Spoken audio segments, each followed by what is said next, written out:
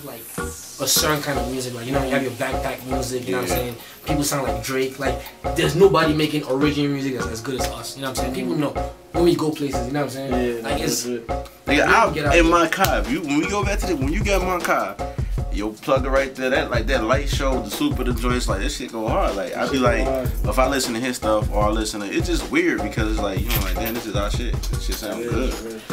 Like you know, if we Like, listen to somebody Illy, like, else. I bump illy shit, you know what I'm saying?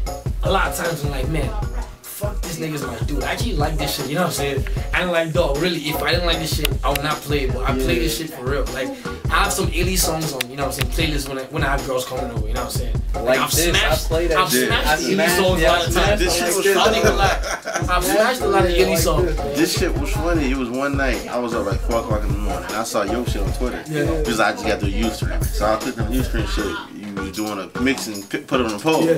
He was like, shout out to my nigga, I gotta play this. And then you just started playing that, uh, the Fresh for the Low. Yeah, yeah, yeah. And then you start playing that shit. I'm like, oh, okay. Like, that shit, I, it's cool because, like, niggas fuck with this shit and this shit, good shit. Like, that Rilla.